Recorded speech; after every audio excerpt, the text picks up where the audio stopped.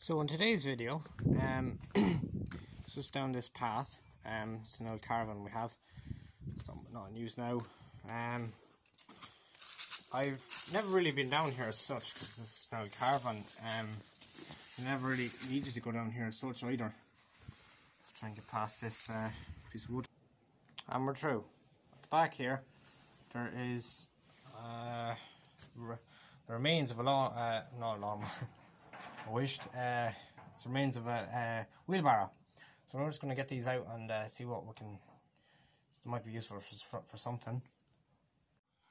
So, by the looks of things, uh, I think the the tub on it has definitely seen better days, and really I might as well go make a new one, um, because that's that's pretty much finished. Well, we can take it out and see if, if it needs any, if it's worth restoring not to not taking the rust off that, but just repainting it maybe and reusing it just for up, up in the yard use.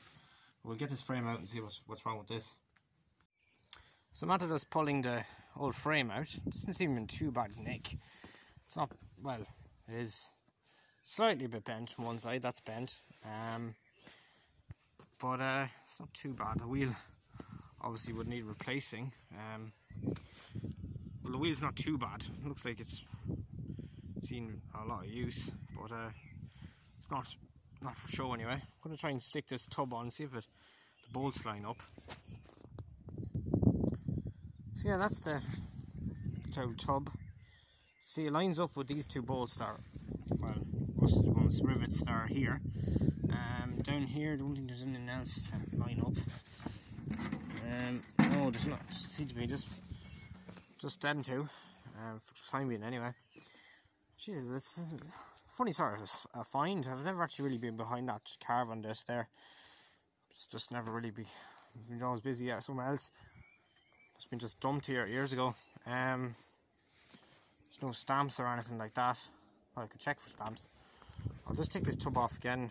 Just was just seeing it. It does line up, so it is the one that's supposed to go on it, and you can see it needs. Yeah, if I, was, I wouldn't want to clean this down, I'd rather just make a new box for it. Really, I'll make a new box for it. That's so. I brought down the wheelbarrow. Well, and I'm just going to start working the frame because that's going to be the first um, thing that I know it's going to be restored, and that we'll see about the tray. Um, first of all, so I want to get this wheel off for start. See, make sure it's all right. Um, because I so I'm after taking off some of the bolts. They came off pretty, pretty handy enough mostly just with a bit of spray D40, not too much. Um, then I just using the vice grips, several size spanners because there's several size nuts on it. So I got this piece of it off. That's what props. That's that came off handy enough. As you see, I was going to start cutting this off. It's a bit of a mark. I was going to start hacksawing this off, but just said, sure, I'll try another go. It came loose for me eventually. Um, also, a bit of a tip: if you ever need to get the bolt off, give it a bit of a tap. Don't mushroom it because obviously then you can't get it off anyways. But um, just give it a bit small taps and a couple of couple of belts of a head, uh, and you wouldn't believe what that shock would do to to a, to a rusted bolt, and eventually it might. Not saying it, it always always works. Different bolts um, do different things, but uh, I want to get these off so I can actually get the wheel out, and I'll uh, tell you a bit more about it now. So I've got the wheel off. looks at my I think that's filled with concrete and that's why it's you can see it's showing through um whatever belt was put on it. It's not bad though. I don't really mind it. It's I'm gonna paint up that wheel and, and get it back on. Um, this piece can be painted as well, that's fine. I'll get them I'll try and get these out and uh, so I can actually put uh, new bolts through them uh, what, uh, when I'm attaching either an old or new tray. Um, so as you can see, this bearing is just uh, joint that hooks onto the wheel. That's very, that's not too bad. There's a bit of a wear, obviously. Uh, that's that's pretty normal. Um, but this one, as you can see, uh, they're parallel, the kind of opposites. And I think that's where it's just the, the wear evenly. Um, if that makes sense. The soft material that um, that they use for the bearings, which is fair enough. Uh, that, I'll clean up all these treads as well so now when I put on the bolts don't, don't get stuck that's perfect actually. Um, there's only one one stud actually holding this one on, and there was two uh, on that. So I'm going to replace this one, and I'll show you what I'm going to replace it. Ta-da! So there's the old tray. Uh, we'll see about that. I'll, but um, as you can see, I have another frame, but this one, obviously, as you can see, is I, I found it actually in a scrap pile, uh, in the scrap pile. Um, couldn't believe it. I was like, "Geez, is that another? is that another wheelbarrow frame?" Um, okay, this one has better handles, but it obviously is broken, so I can't start um I wouldn't start um uh, using this. And the fact it's it's broken or whatever, but um it does actually have a good bearing on this side. Mind about the this that uh, screw. Put that in there. Um, this seems to be in good neck, and I might use this for the broken one. So we're just going to try and get this off. Get this that bolt off, and we'll get this out, and we'll, we'll use it. So yeah.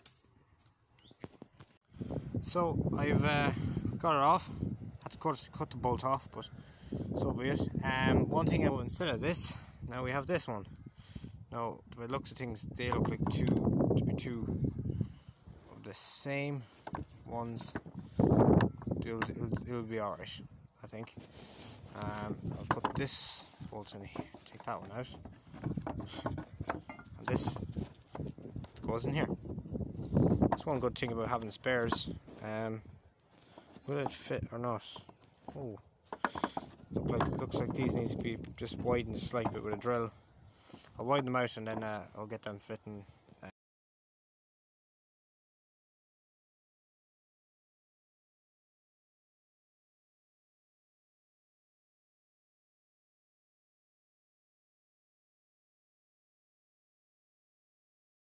So, a bit of an update on the wheelbarrow restoration. Just want to say this is my uh, this is the regular uh, wheelbarrow. Um, this has been around for we have this wheelbarrow 15 years. Um, I've seen a fair lot of use, but uh, we do mind it. don't throw, well, as long as you don't throw things into the, into barrels, you'll have them for life. And uh, the fact this was stainless or galvanized, the the actual uh, skip, it made a big difference. There's a bit of straightening in it as well, so that's good. Um, so this one, bit of a comparison. But this one, um, so I went ahead, um, painted the frame, put it back together now. Uh, I did run out of orange paint. Uh, I've I've more in a list, so when I can get it, I will get it, uh, and I'll end up sp spraying it again, a second coat of orange, and I'll really just weatherproof it. Um, so I put on the new bracket. Um, this new bracket. This was actually off the other frame. Um, and then also I've put on new bolts. This bolt's actually 13. Uh, they're, they're, usually 15s, but this one, uh, the 15 that was here at rung, and uh, I had to put 13. And uh, I managed to get there's a, kind of like these wheel studs uh, put on each bottom of the 14. They're just big bolts. and I had to put them on to the 13. Then put a load of spacers because the tread only goes to so far, and I don't have any tread tread um, tapping bars or, or anything. So I put a lot of spacers in there, so then I can tighten it up. Good. Uh, far side, I had to do the same. I managed to get a, four, uh, a 14, a 14. Um, so it's it's a 14 there, and that's a 15. There's very little difference, but I had to do had to be done. Could be the far side. I think it might be the far side, but uh, so that's the bracket. They're back together. Um, as you can see, this is straight. Like that's that's flush, but this isn't. Um, just after noticing that now I'll get a piece of bar here and then just kind of straighten it out. But now onto the skip. Now I'm going to make it over a, a barrel, a, a tar barrel. I'm going to make skip out of, and uh, there'll be more on that in the near future. Right now, she's going back in the shed, and uh, we're going to call it a night. It's, it's nearly evening now. Right. So guys, a bit of a time has passed since that last installment, a couple of days actually. Um, I, so I wasn't working on this as such, I was doing other jobs. Um, I was cutting a lot of trees actually, there with uh, our really a couple of trees that need to be pruned and all the rest, and the timber had to be drawn away. So a bit of time with that. But um, so I got back to it today, and now I can say it is finally finished. I know it is looking rough. I might have another installment to this where I give it a bit more of a uh, paint, uh, but I think it's not too bad actually. Um, so as you can see, that's a barrel. Uh, I cut away an angle grinder straight down the middle, and uh, then I sized it up, said that was grand, and then drilled, drilled the holes. I put two new bolts in it actually because the other ones were wrong. So and then a couple of washers stopping the bolt from going through the frame, and then I put on this this the back, the bottom. This is the it snapped off, so I re I just drilled holes and then I put in three zip ties. But then I put two wires as well. Um, it's good and strong. it's not coming off. Uh, I don't. I didn't put any handles on it. Um, I didn't really think there were. I I didn't have any. just to go honest truth, I didn't have it ready to uh, put on them uh, yet. Um, well, I might come up with something yet, but I've I just put a bit of tape over it because there used to be a bit of a hole here, and you know it's it's pretty sharp, so you could cut yourself from that. Um, okay, the frame, the edge of the frame, is very uh, sharp, as you know. It's an angle grinder, so but it's not too bad. I, obviously, nobody's going to be brushing their their hands off this. This is only going to be used for grass cuttings, um, bit of sod work. Nothing heavy, not heavy, but because there's these ridges, it is really strong. It's as strong as a a, a regular barrel, really, and uh, I'm very happy with it. Um, to the front, I know it's it's a very simple design. It's just a half cut barrel.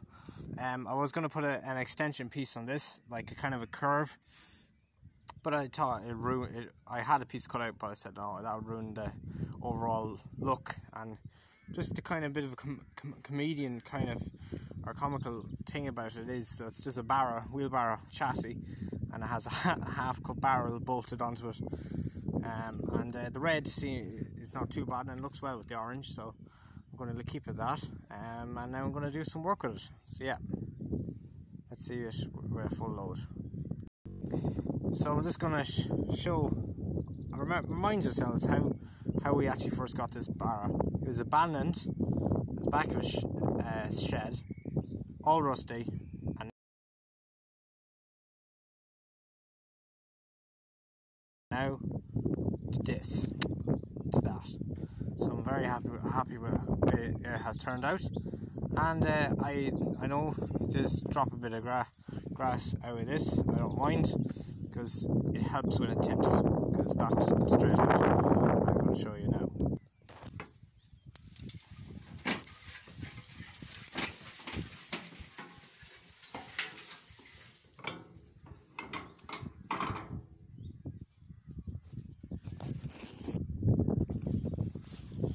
So guys, that's the wheelbarrow unloading. Hope you enjoyed the video. If you did, please leave like, subscribe. And guys, I'm, I'm getting a nice bit of support now. The channel's really grown. Um, we're at I think 43 subscribers since I last checked. And we're, we're going pretty rapid. Um, comment down below if you want to see more of these videos. Um, like these restoration videos putting things back to purpose really. Um, I always try and incorporate a lot of things into my channel. I know I have farm models, then machinery, and then I have my lawnmowers, and then I have these, uh, which is uh, cool as well. So yeah, uh, comment down below if you like this and uh, if you want to see anything like this but, uh, again. And uh, guys, I'll see you in the next one. Bye for now.